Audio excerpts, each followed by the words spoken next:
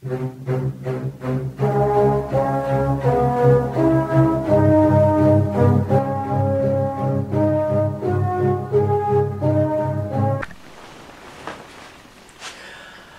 Państwa, chciałbym dzisiaj jakoś bardzo pobieżnie oczywiście omówić możliwości potwierdzenia ewolucji organizmów żywych.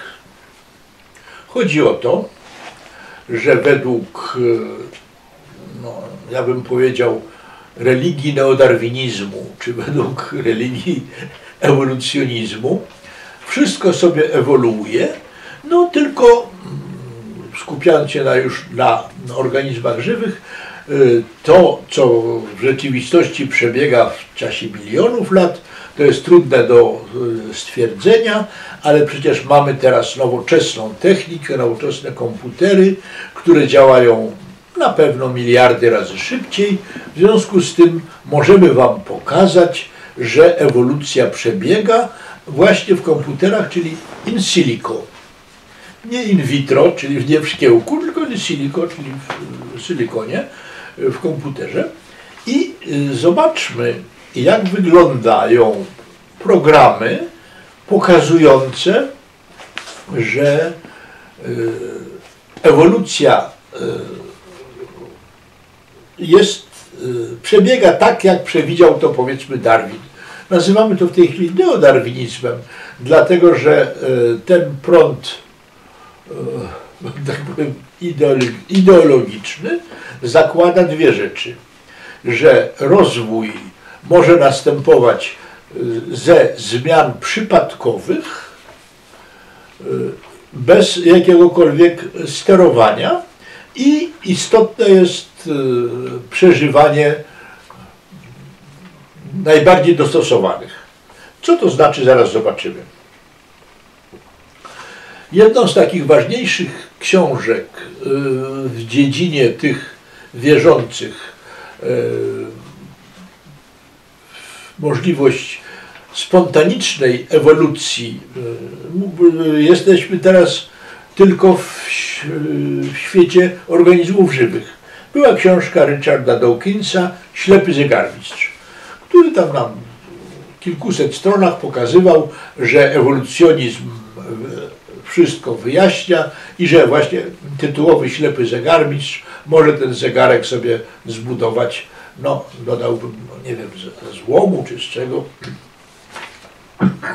Otóż istotne jest dla tych wszystkich, którzy są deprawowani tym, co e, jest ewidentnie nielogiczne, a mówię tu o młodych studentach, e, o uczniach oczywiście, ale również o studentach, e, szczególnie biologii, że tam nie podaje się w, w tych wykładach błędnych nie podaje się podstaw, tych pod, podstaw, czyli po prostu yy, założeń. Ten Richard Dawkins, który był bardzo dobrym, powiedzmy, ewolucjonistą, ale również popularyzatorem, w swoim czasie zaproponował taki prosty algorytm, który pokazuje, ten algorytm nie był jeszcze taki prosty, który pokazuje w jaki sposób działa ewolucja, ale właśnie przyspieszona te miliardy razy, czyli w komputerze. Mianowicie, ja oczywiście również bardzo skracam, e, wszelkie nieścisłości są związane z tym, mam nadzieję, że tylko z tym skracaniem, ale to mogą Państwo na stronie dakowski.pl e, znaleźć e, precyzyjne argumenty napisane. Natomiast te algorytmy ewolucyjne, one hmm, starają się pokazać, w jaki sposób można, powiedzmy sobie, z chaosu dojść do rozwoju, czyli dojść na przykład do stadium, e, do stadium racjonalnego zdania.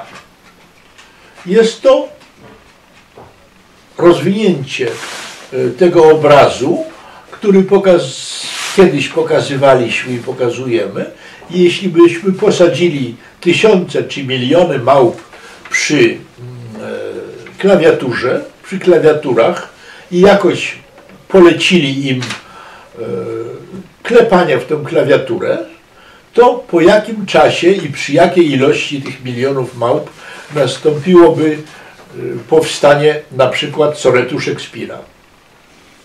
Więc jeśli tak to patrzymy, oczywiście te prawdopodobieństwa można wyliczyć, ale ewolucjoniści mówią, o nie, to nie jest tak. I teraz pokażę Państwu y, ten y, tak zwany najprostszy y, algorytm, to znaczy właśnie tą symulacją, symulację Richarda Dawkinsa.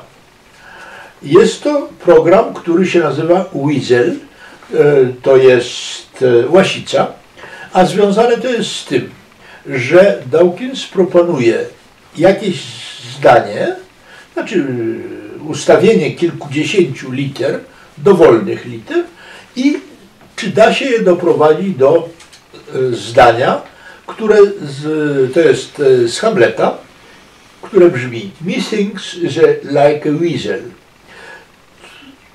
Ogólnie biorąc, tłumacząc niedokładnie, zdaje mi się, że jest podobniejsza do łasicy. To zdanie jest sensowne. Methinks pisze się razem, e, bo tak chciał Hamlet, a pardon, Szekspir. I dobrze. Otóż zasada jest taka, że mamy jakikolwiek ciąg liter i, i wtedy program w, tej najprostszej wersji, oczywiście są wersje później rozbudowane, w tej najprostszej wersji program sprawdza, czy jeśli uderzamy, e, zmieniamy każdą z tych liter, czy trafiamy na literę, która pasuje do tego e, celu, to znaczy do tego zdania z Szekspira.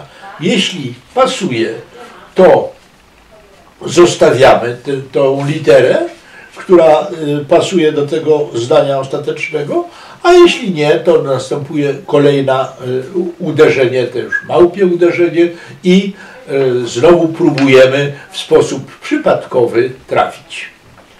Okazuje się, że po kilkudziesięciu krokach, to zwykle tam 40 czy 43 to są kroki, po których już pojawia się to właściwe zdanie, to znaczy właśnie to zdanie z Hamleta Szekspira Methinks is like a weasel. It's like a weasel. Otóż, czy to wykazuje, że w tych czterdziestu kilku krokach uzyskaliśmy y, to, co chcieliśmy uzyskać. To znaczy pokazanie, że w sposób przypadkowy można dojść do celu. Otóż ja mówię w tej chwili o najprostszej wersji, bo wersje bardziej skomplikowane są, o których zresztą wspomnę za chwilę, ale przy tej najprostszej wersji, otóż nie. Dlatego, że mamy zapisany ten cel ostateczny. To znaczy mamy zapisany ten wers z Hamleta, do którego program szybko zdąża y, i, i dochodzi. Czyli y, sam Dawkins w swoim czasie przyznał i zgodził się, że to nie jest dowód na ewolucję y, w tym wypadku liter czy zdań w kierunku mm, tym przewidzianym, znaczy w kierunku na przykład e, rozwoju życia, czy bardziej e, lepszego dostosowania, tylko jednak jest e, dowodem na to, że jest to, że istnieje cel, do którego dążymy, czyli to jest działalność celowa. Są programy niezwykle, o wiele bardziej skomplikowane. Aha, jeszcze chcę powiedzieć, że e, to, że tego typu programy jak Weasel są, istnieją, działają, dla różnych niedouków z dziedziny ewolucjonizmu, szczególnie no, na większości wydziałów biologii jest matematyka bardzo i logika e, bardzo po macoszemu traktowana, więc profesorowie wskazują, studenci wierzą, czy pokazują, bawią się tym programem Weasel i mówią, no widzicie, ewolucja zachodzi. Oczywiście nie dociera do nich to, że jest to po pierwsze, jest zdefiniowany cel, czyli po drugie jeszcze, że jest zdefiniowana droga, to znaczy istnieje cały e, racjonalnie, rozsądnie napisany program dochodzenia do tego celu. Czyli mamy dwie, e, dwie rzeczy, które istnieją, które są poza możliwością pojmowania tych studentów czy profesorów, którzy to profesorowie są zwykle dyrektorami jakiegoś tam Instytutu Ewolucjonizmu lub coś w tym rodzaju. Mianowicie, że w tych tego rodzaju programach dochodzi się, istnieje cel, czyli tutaj raczej to jest dowód na działalność in silico celową, ale poza tym istnieją te wszystkie i komputery, i programy komputerowe, które są programami niezwykle precyzyjnie racjonalnymi, rozsądnymi, a nie ma w tym nic przypadkowego. Natomiast y, te próby wprowadzenia przypadków w postaci jakiegoś generowania liczb losowych to są tylko atrapą tego, co się rzeczywiście w tych programach dzieje. Z takich bardziej skomplikowanych programów jest to program na przykład symulacja Schneidera EV, czyli EV, oraz symulacja Leńskiego AVIDA. Ja to mówię na podstawie artykułu Michała Ostrowskiego, który y, też można znaleźć i na mojej stronie, i na którejś stronie kreacjonizmu, ale to są argumenty, które poddają się y, krytyce logicznej.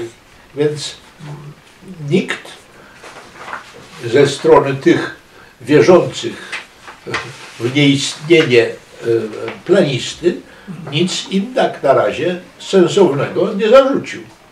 Więc te programy IVI czy też AVIDA to są programy o wiele bardziej skomplikowane, ale wszystkie te programy prowadzą do powstania struktur, powiedzmy takich e, silikonowych zwierzątek, e, silikonowych struktur, które mają imitować istoty żywe, w kierunku ich doskonalenia się, ale po pierwsze dzieje się to właśnie w ten sposób, że zawsze jest funkcja celu, to znaczy jest cel, a nie przypadkowy. Ten wspomniany na wstępie zegarmistrz nie jest ślepy.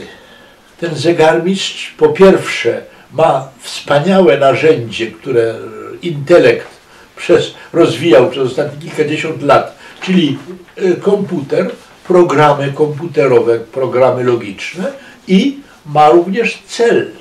Celem jest uzyskanie właśnie y, takiej quasi istoty, y, powiedzmy sobie w tym w świecie wirtualnym, ale quasi istoty, która jest określona.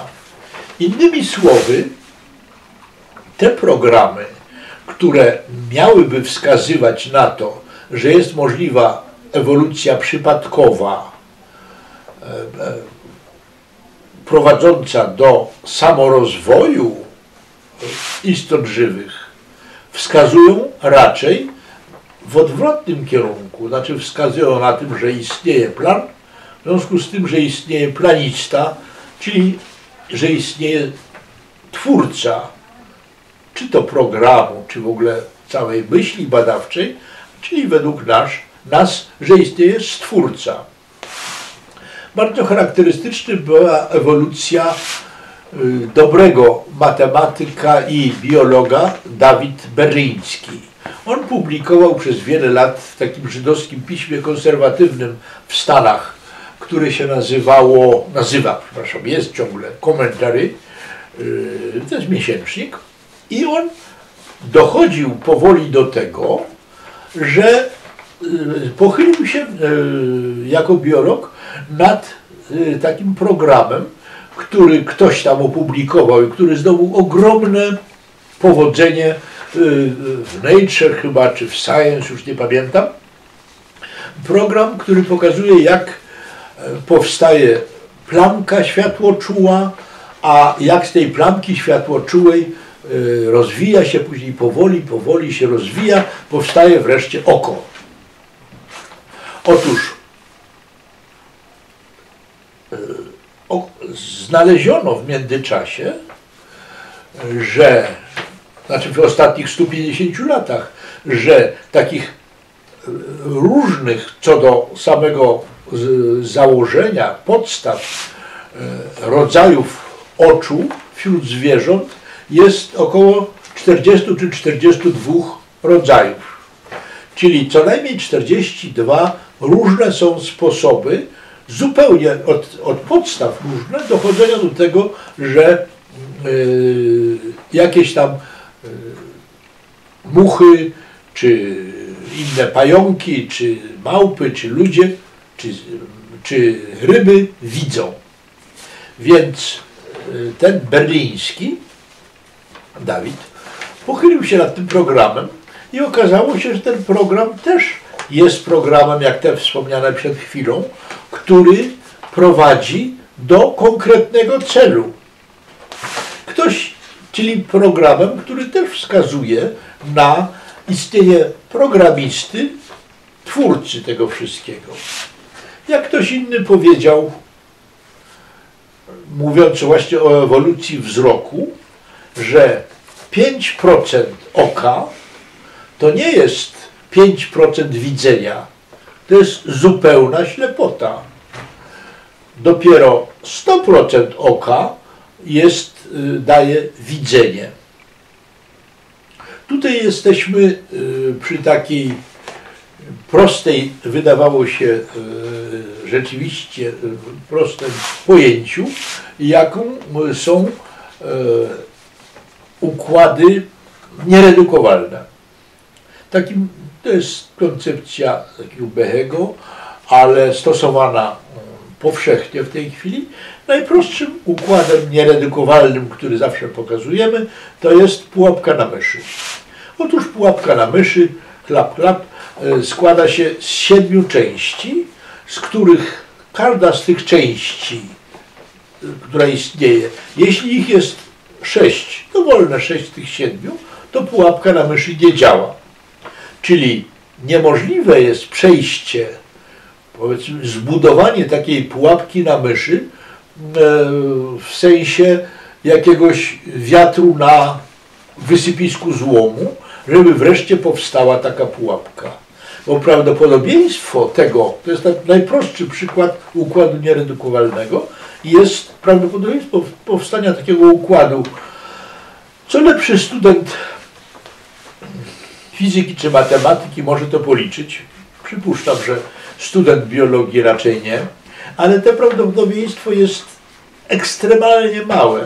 Praktycznie, a może nawet naprawdę w kategoriach Y, czasu życia wszechświata jest zero. Czyli y, jest bardzo dużo w świecie materialnym układów właśnie nieredukowalnych, które są nieskończenie, ogromną ilość razy, miliardy razy bardziej skomplikowane niż pułapka na myszy. One wszystkie wykazują, że niemożliwe jest powstanie takich właśnie układów nieredukowalnych, w sensie przypadkowym. Jest jakiś tam histon 4 chyba, jest to bardzo podstawowa y, składnik y, enzymów. Otóż należy właśnie do takich układów nieredukowalnych. Czyli to jest dowód jednoznaczny, że w czasie y, istnienia tego, czyli naszego wszechświata, Wszechświat żyje, trwa, przepraszam, ma, czy też ma wiek 13,7 mniej więcej miliarda lat, jak również w czasie tysiące czy miliony razy większym, niemożliwe jest powstanie spontaniczne czegoś takiego jak czy pułapka na myszy, czy właśnie ten histon 4. W związku z tym również niemożliwe jest powstanie życia. Wnioski z tego są zupełnie jednoznaczne. Mianowicie takie, że jesteśmy mm, eksperymentalnie y, doświadczamy tego, że istnieje twórca, istnieje planista tego wszystkiego, czyli tego, że istnieje stwórca.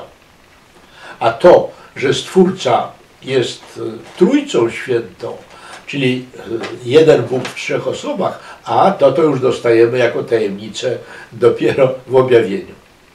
Dziękuję.